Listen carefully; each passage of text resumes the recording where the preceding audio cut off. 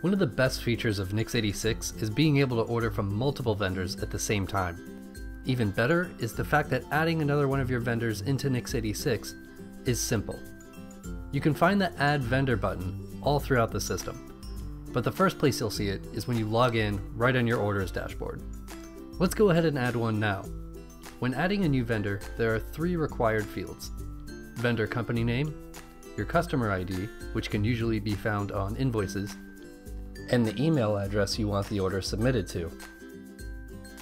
Next, hit submit and start adding items to your order guide. To save time, you can copy and paste directly from a different file, but you are welcome to type all details as well. That's it. Save your changes, and you can immediately begin ordering from your newly added vendor. Be sure to check out our other tutorials, or if you need further assistance, contact us at info at nix86.com. And don't forget to download our new phone app and keep the power of Nix86 with you wherever you go.